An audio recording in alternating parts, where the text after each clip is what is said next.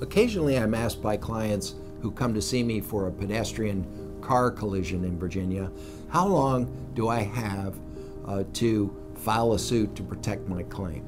And uh, while the easy answer is that you have two years from the date of the accident to file your personal injury claim in court, uh, in order to actually have the best chance of recovering what you're owed for that injury claim, you need to start far sooner than that. In fact, the sooner after the accident you retain counsel, the better your odds are of recovering anything as a result of that collision.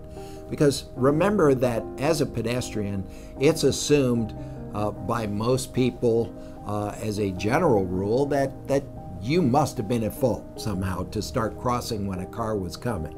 So, how do you get over that presumption? Well, the only way to do it is with careful and early scene investigation.